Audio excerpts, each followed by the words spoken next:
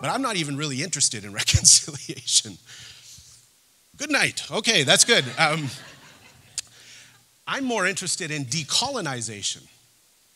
Because if we talk about decolonization, we have to talk about colonization. And if we talk about colonization, we have to talk about land. Because at the forefront of all of this, this has always been the Canadian colonial project has always been about land. Move Indigenous peoples off the shores of Lake Ontario, off of the island at Toronto Island, and move them out of the way so we can settle.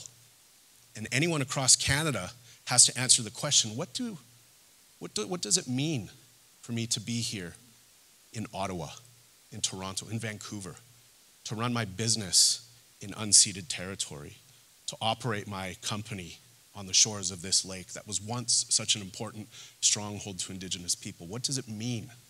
And we have to answer those questions. And if you can't answer those questions, it's because you're not asking the right questions or you're not listening to the right answers. Who's absent? Usually, Indigenous people. So, if we are negatively affecting the land, what happens to us as people?